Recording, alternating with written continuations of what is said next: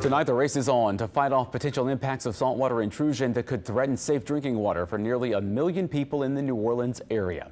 Good evening and thanks for watching the Eyewitness News at 10. I'm Mike McDaniel. There are currently several working plans in place to mitigate the saltwater's wedge that's making its way up the Mississippi River. Today, the Army Corps of Engineers delivered the first batch of pumps to New Orleans. The city now has three out of 12 pumps needed to transfer fresh water from the barges, which are expected to bring water from upstream. Right now, the only place where air salinity is in Lower Plaquemines Parish, but more water intakes will be impacted in the coming weeks. Belle Chasse water intakes will likely start to see unsafe levels of salt by October 13th. The governor's office has approved a plan by Jefferson Parish to build a pipeline that will pump fresh water from upriver.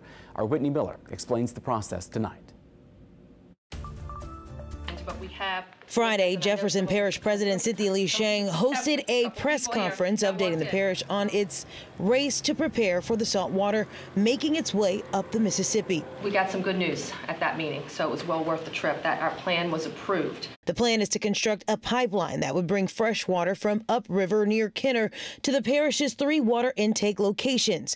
They will do that by using what's called flexible lay-down lines attached to diesel pumps, one on the west bank and another on the east bank. In 1988, the toe actually reached about that point and quickly retreated, so it's an ideal spot. So if we can get in that vicinity, according to what the current prognostications are, we should be okay. Along with plans for the pipeline, Gretna Mayor Belinda Constant told the press she's working with the parish to make sure residents don't go without fresh drinking water. We already have plans in place. We have done what we needed to do according to FEMA guidelines under emergency management crisis um, put out for bid, and we'll have our barge secured by 3 p.m. tomorrow. Parish President Cynthia Lee Sheng says she's also been in contact with local grocers to make sure bottled water is accessible. We have been through a lot uh, as a people over these past couple years, and our citizens going into stores and seeing empty shelves is just frightening for them. So to explain that this saltwater intrusion would, would